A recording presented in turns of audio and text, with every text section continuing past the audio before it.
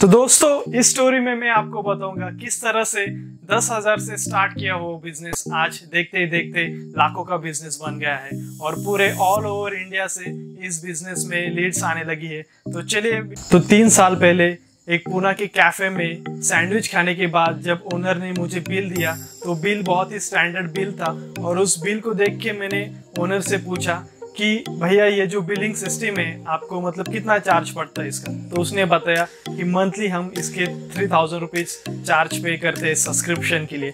तो मैंने फिर घर में जाने के बाद कैलकुलेट किया तो ऑलमोस्ट वो ईयरली थर्टी सिक्स थाउज़ेंड पे कर रहे थे। तो उस वक्त मुझे पता चला कि इस billing restaurant cafe, billing machine का कितना पोटेंशियल है। तो मैंने सोचा कि क्यों ना हम एक खुद का सॉफ्टवेयर डेवलप करते। हैं तो देखते ही देखते कॉलेज के पाँच दोस्तों के साथ मिलके हमने एक बिलिंग सॉफ्टवेयर डेवलप किया कैफ़े और रेस्टोरेंट्स के लिए। और पहले उसकी एडवर्टाइज करने के लिए ज़्यादा पैसे नहीं थे तो इसलिए हमने फ्री प्लेटफॉर्म जैसे फेसबुक और ओ पे हमने उसकी एडवर्टाइजमेंट की।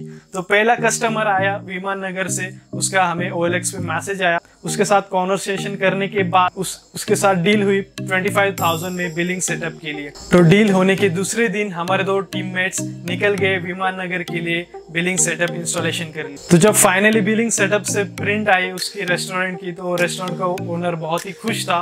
तो उसने हमें 35,000 का चेक लिख के दिया। लेकिन वो जो चेक था वो पोस्ट डेटेड चेक था। इसका मतलब दो दिन के बाद हम पैसे निकाल सकते थे। तो हम सब बहुत खुश थे कि चलो पहले डील हो गई और सब बहुत खुश थे। लेकिन जब दो दिन के बाद हमने वो चेक बैंक में डिपॉजिट किया तो पता चला कि वो चेक बाउंस हो चुका है और उस चेक बाउंस होने की वजह से हमें साढ़े तीन सौ रुपये चेक बाउंस चार्जेस लगे। तो सब बहुत डिसअपॉइंटेड थे और हमें ऐसे फंसाए जैसे फीलिंग आने लगी। तो हमने उस ओनर से कॉल किया कि सर जी, क्या हुआ? चेक बाउंस हो रहा है ऐसा वैसा।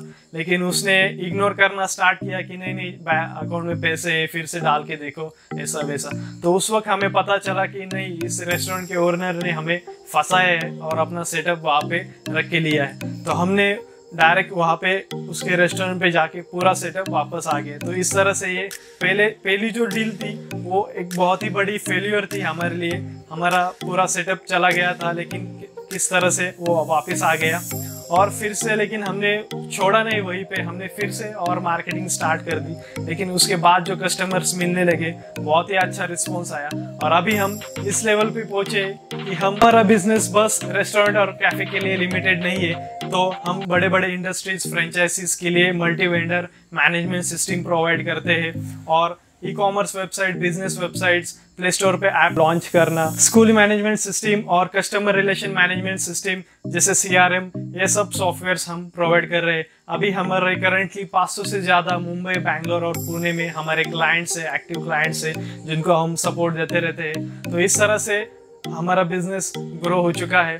और बहुत सारे लोगों को साथ हम टाइप कर रहे हैं जो हमारे बिज़नेस को या प्रोडक्ट को प्रमोट करना चाहता है, वो भी हमारे साथ ऐड हो सकता है। और ये जो हमारे बिज़नेस की वेबसाइट है, इसकी लिंक मैंने डिस्क्रिप्शन में दे चुकी है। अगर आप चाहते हो तो आप इस तरह से वेबसाइट में जाके हमारा बिज़नेस देख सकते हो। और ऊपर से अगर ये वीडियो आपको अच्छा लगा इंस्पायरिंग लगा तो इस वीडियो को आप आपके दोस्तों के साथ शेयर कर सकते हो। और इसी तरह से बिज़नेस के रिलेटेड और मोटिवेशनल कंटेंट हम लेते आएँगे।